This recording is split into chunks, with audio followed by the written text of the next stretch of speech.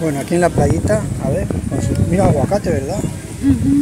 Nuestros cócteles de camarón aquí en la playita. Ya es el cóctel de camarones. en el mar, en el océano Pacífico.